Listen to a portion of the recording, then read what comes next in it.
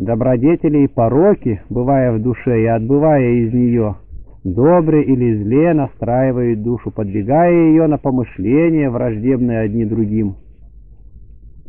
Злых помышлений причина страсти, страстей прислушание заповедей, прислушание прельщение чувствами, прельщение небрежение ума, хранение чувств. При успевающих доброе расположение могут еще удобно прилагаться на противоположное, а в совершенных расположения эти бывают неудобно приложены. Сила души — навык добродетели неудобно приложенный, которого достигший говорил, кто отлучит нас от любви Божией. Предшествует всем страстям самолюбие, после же всех их следует гордость. Три главнейшие страсти греховное порождение свое имеет из страсти самолюбия. Эти три суть — чревоугодие, тщеславие и сребролюбие, из которых исходят все другие страсти. За чревоугодием следует блуд, за тщеславием — гордость. Прочее же за всеми тремя — 90. За всеми тремя последуют печаль, гнев, злопамятство, зависть, леность и прочее. Молитва. Владыка всех Христе, от всего сего избави нас, как от пагубных страстей, так и от порождаемых ими помыслов. Тебя ради созданы мы, да в Тебе блаженствуем мы, помещены в раю Тобою насажденном. Нынешнее же бесчестие сами мы навлекли на себя, блаженному услаждению предпочетши пагубное. За что сами в себе восприяли мы воздаяние, вместо жизни вечной наследовав смерть. Ныне же, владыка, как всегда презирал ты на нас и до конца презрителем нашим будь, как воплотиться ради нас благоволил, так и спаси всех нас ибо спасти нас, погибших, пришел Ты. Не отлучай же нас от части спасаемых. Воскреси души и спаси телеса, очищая нас от всякой скверны. Сокруши узы обдержащих нас страстей, как сокрушил полчище нечистых бесов. И избави нас от тиранства их, да послужим Тебе, единому свету вечному. Тогда по воскресении из мертвых с ангелами составим единый блаженный и вечно неразрывный хор. Авы Фаласия, сотня четвертая. Кое окрастих такой. Но молись прилежно Богу нашему, да избавимся от золы настоящих и ненастоящих, а только почитаемых такими —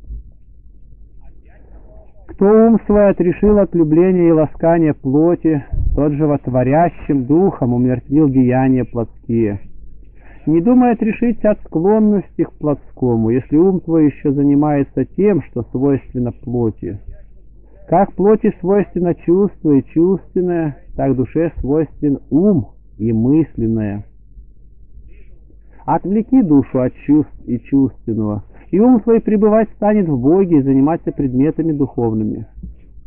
Родственны божеству умные естества, одним умом познаваемые. Чувства же и вещи чувственные созданы на служение уму. Да служат тебе чувства и вещи чувственные к духовному созерцанию, а не к удовлетворению похоти плоти повелено тебе умертвить деяния плотские, чтобы трудными подвигами воскресить душу, умерщвленную сластями плотскими. Буди господствуем от Бога и господствуй над чувствами, и, будучи луч... лучшим, не давай власти над собой тому, что хуже тебя. Бог вечен, беспределен и неограничен, и благо вечное, беспредельное и неизреченное обетовал слушающимся Его. 10. Уму свойственно пребывать в Боге и о Нем умствовать, равно как о Его промышлении и о страшных судах Его. Имеешь власть, склониться на то или другое, но будь на стороне лучшего и подчинишь себе худшее. Хороши чувства и хорошо чувственное, как творение благого Бога. Никак, однако ж, не могут идти в сравнение с умом и умовым. Разумное и мысленное естество создал Бог способным к познанию всего и его самого, а чувство и чувственное произвел на полезное этому употребление. Как неуместно негодному рабу подчинять себе благого господина, так неуместно ум разумный подчинять телу тленному. Ум, не властвующий над чувствами через них, падает в грехи. Ибо прельщен бывает чувственными сластями, он обычно порождает непотребство.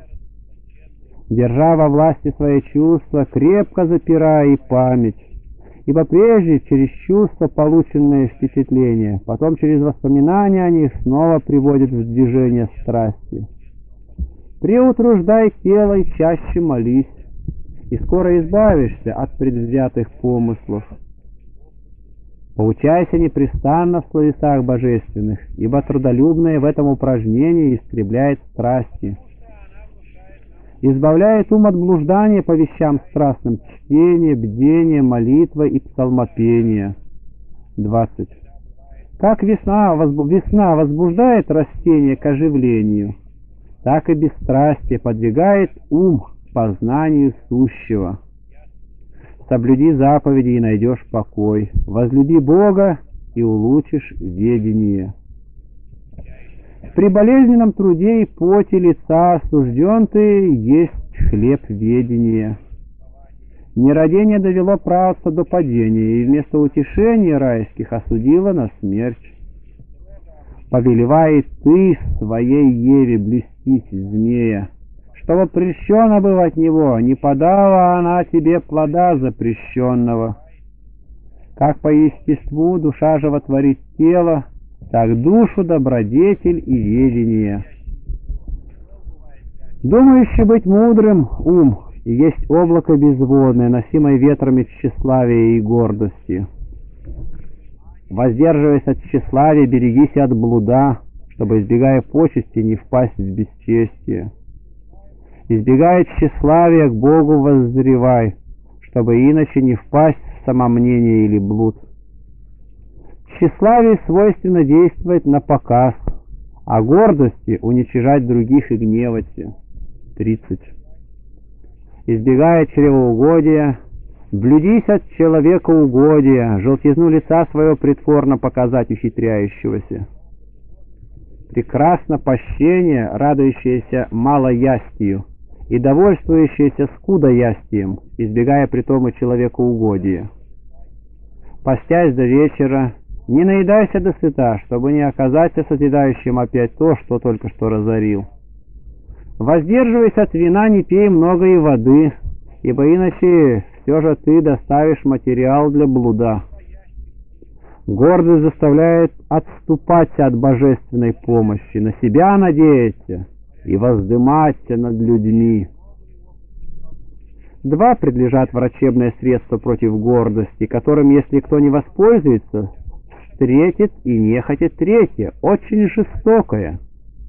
Гордость прогоняет молитва со слезами, никого не уничижение и невольные скорби. Вразумление через искушение есть жезл духовный, научающий смиренно-мудрию того, кто надымается в неразумии своем. Умное дело не подчиняться помыслу того, кто тайно наговаривает на ближнего. Как огородник, не выполняющий сор, не выпалывающий сорных трав, заглушает через них овощи, так ум, не очищающий помыслов, губит подвижнические труды. 40. Разумен муж, который слушается совета, особенно когда совет предлагается по Богу, духовным отцом. Умершленный страстями совета и понять не может, и подчиниться духовному наставлению совсем не способен. Неприемлющий совета неправыми путями шествует, но всегда носится по стремнинам и пропастям. Монах Ум, отрешившийся от чувственного и помысла сластолюбивого, даже и видеть не попускающий. Врач, ум, себя уврачевавший и тем, чем сам уврачевался других врачующий. Взыщи добродетели и затем ревнуй не потерять ее, чтобы не жить срамно и не умереть немилосердно. Господь наш Иисус Христос всем даровал свет, но неверующие Ему сами себя держат во тьме. Не почитая малым лишение добродетели, через это смерть вошла в мир. Послушное исполнение заповедей есть воскресение мертвых, ибо жизнь есть естественное следствие добродетели. За умершлением ума через преступление заповеди необходимо следует и смерть тела. 50. Как Адам, приступив заповедь, подпал смерти, так Спаситель, послушлив быв, умертвил смерть.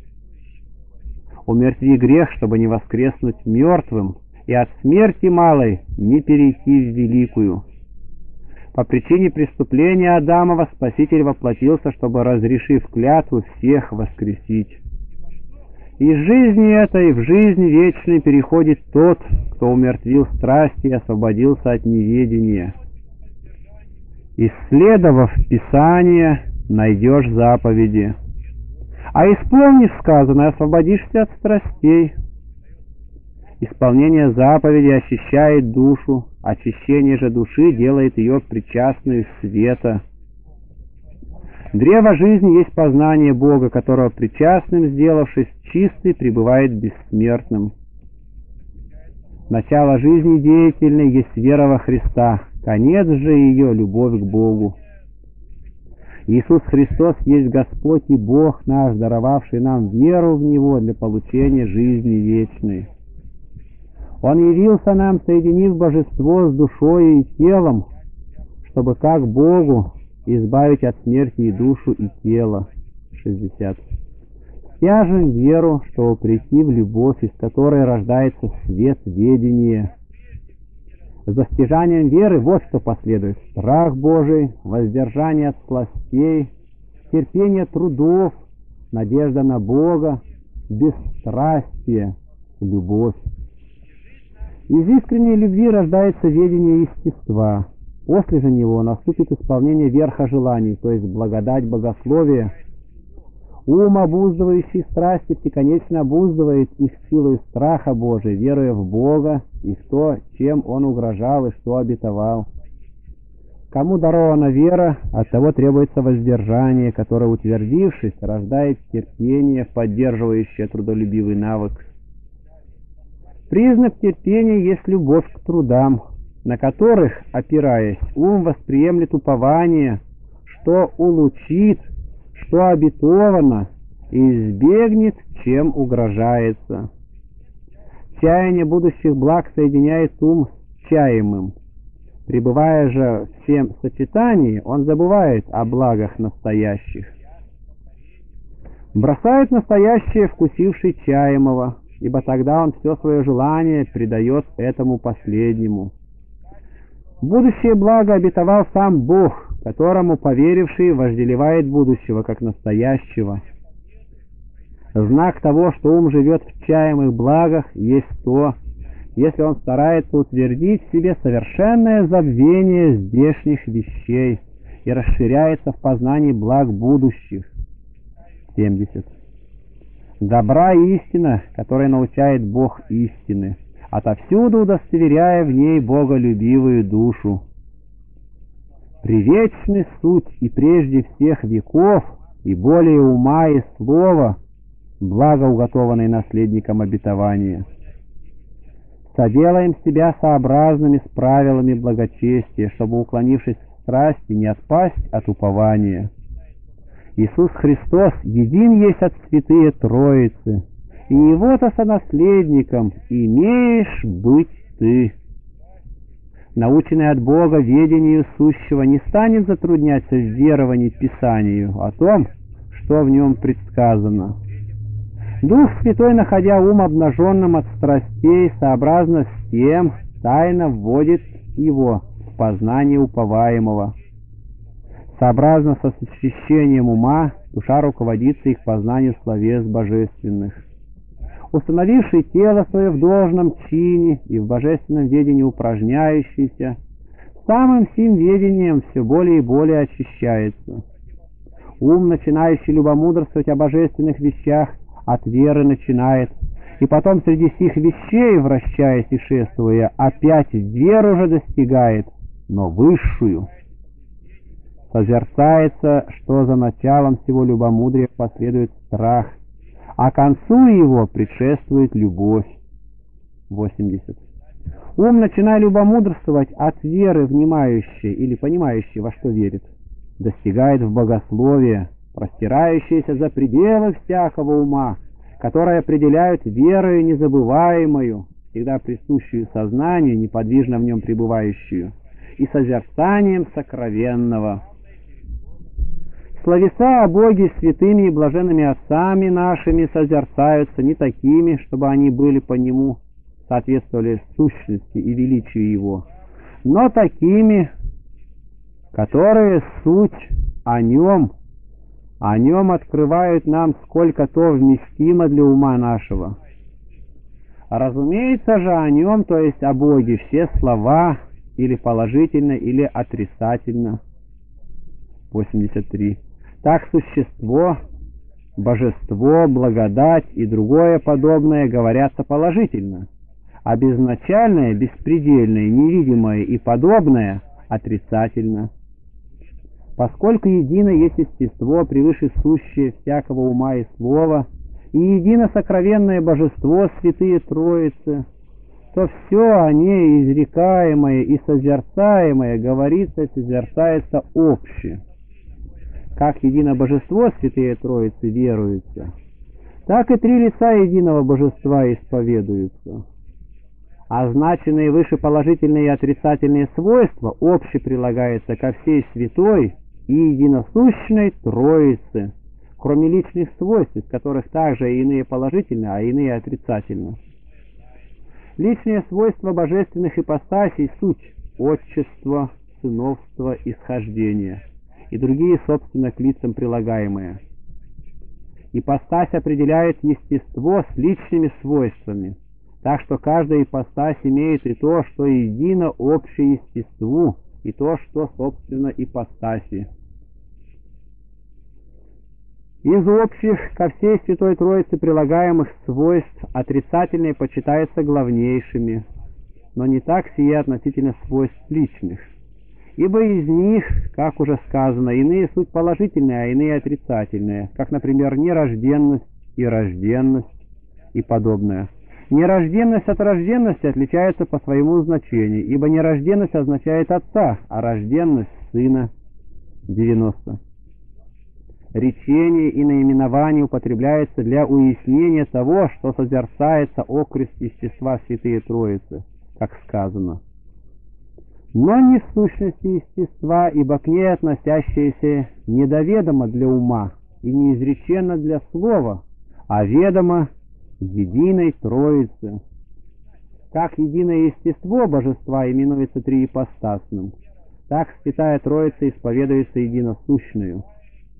Отец созерцается и безначальным, и началом, безначальным, как нерожденный, а началом, как родитель сына и изводитель Духа Святого, который вечно из Него и в Нем суть. Единица до Троицы движась, пребывает единица и Троица, до единицы сводясь, пребывает Троицею. Сие и дивно есть. Сын и Дух Святой исповедуются не безначальными, однако ж вечными. Не безначальными, как к началу и источнику, относимые к Отцу, а вечными, как от вечности, один рожденно, а другой исходно, сущие со Отцом. Нераздельным едино Божество Троицы всегда верно созерцается, и неслиянными три ипостаси единого Божества всегда верно исповедуются. Личные свойства — суть Отца — нерожденность, Сына — рожденность, Духа Святого — исходность, начало Сына и Духа Святого исповедуется безвременным, ибо как из солнца и из солнца свет, так и они из вечного и в вечном вечно имеют существование. Личные свойства ипостаси неподвижными и неизменными всегда созерцаются, а общее естество или божество нераздельным. Единицу в Троице и Троицу во единице исповедуем, как нераздельно разделяемую и раздельно соединяемую. Едино начало в божестве созерцается Отец, начало Сына и Духа, как родители, источник их вечный совечных, беспредельный со беспредельных, и три сии единосущны суть и нераздельны. Тварей же всех Творец, промыслитель и судья есть три ипостасный Бог, Отец через Сына во Святом Духе. Ибо говорится, что из того и тем, и в нем всяческое. Тому слава во веки. Аминь. 100. Со вечными Отцу исповедуем Сына и Духа Святого и с обезначальными, как вечное и безначальное, имеющее из Него и в Нем свое существование и начало. Они вечно со Отцом и во Отце, и Отец вечно с ними.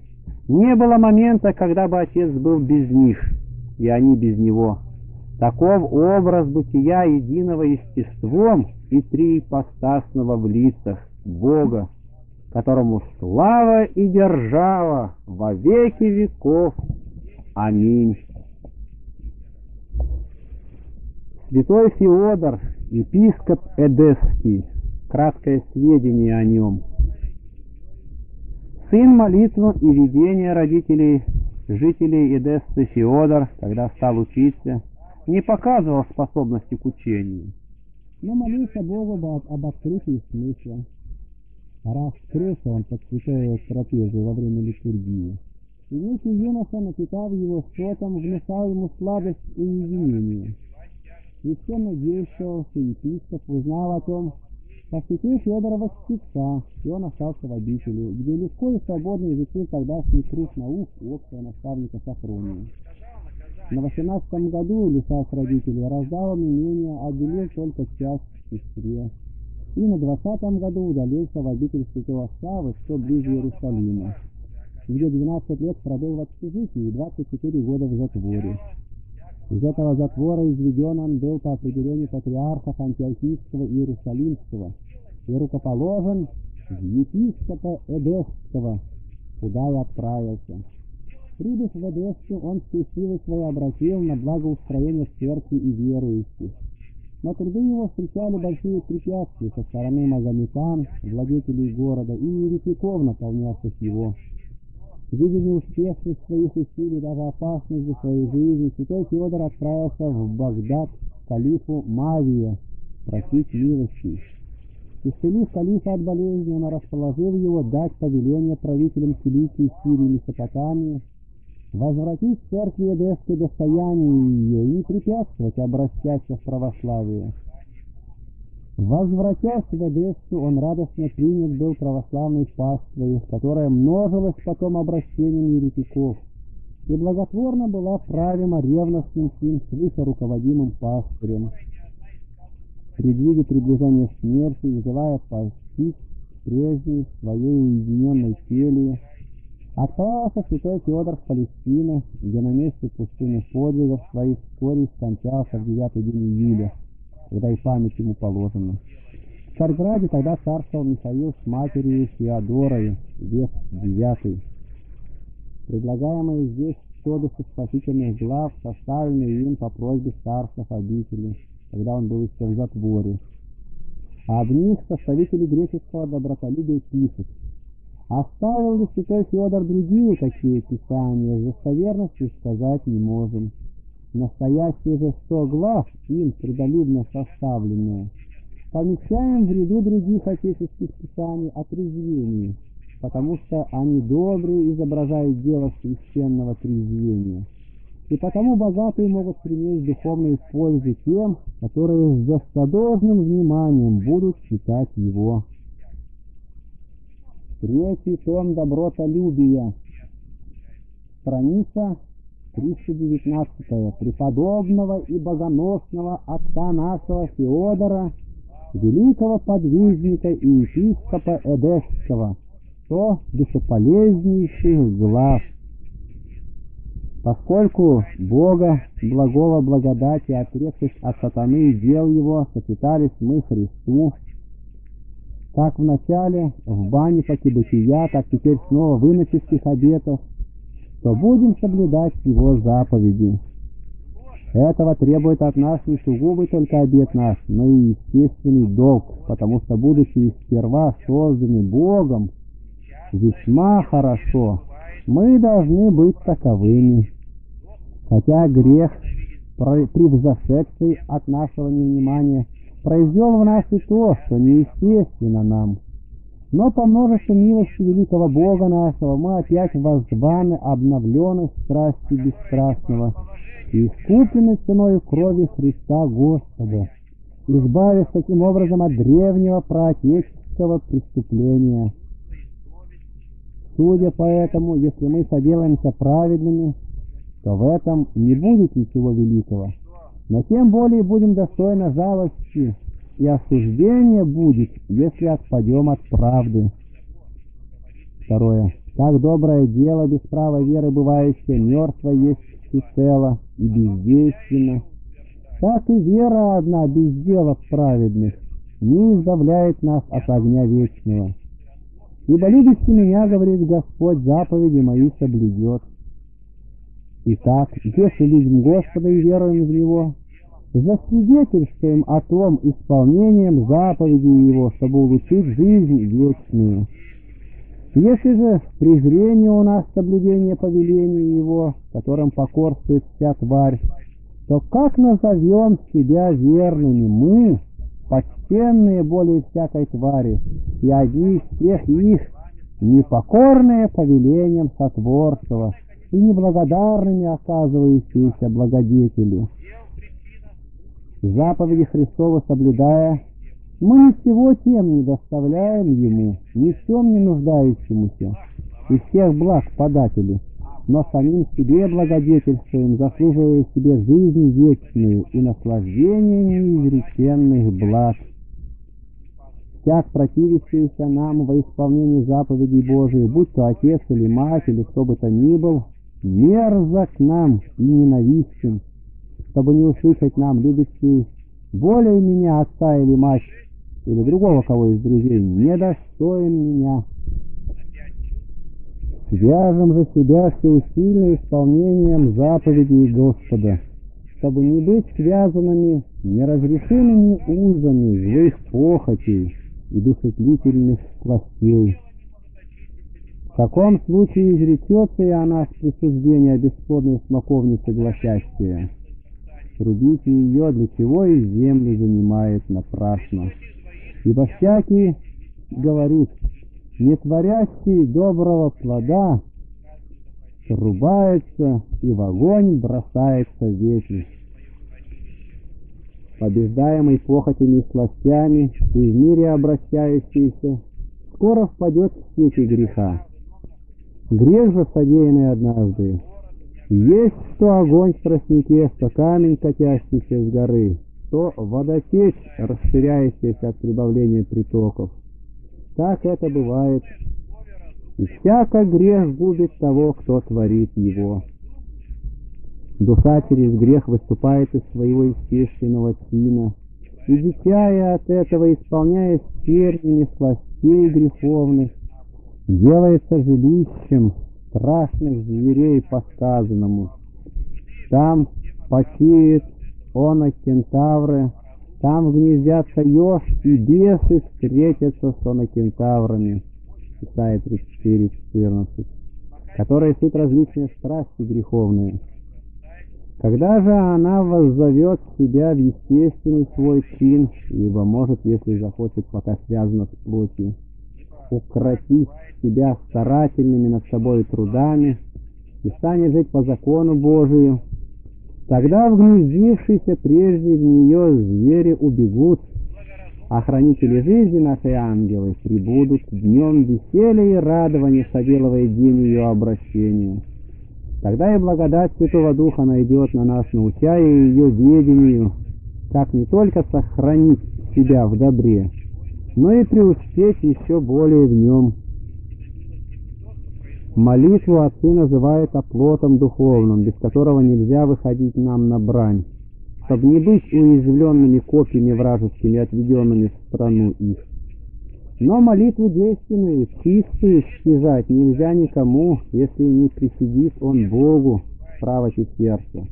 Ибо Бог есть, даящий молитву молящему и научающий человека разуму. То, что душу беспокоит страсти и приступает к ней с бранью, не в нашей власти. Но что замедляет в нас страстные помыслы и приводит в движение страсти, это в нашей власти. Первое безгрешно, как не в нашей власти состоящее. А второе, если мужественно воспротивив победим, доставляет венцы.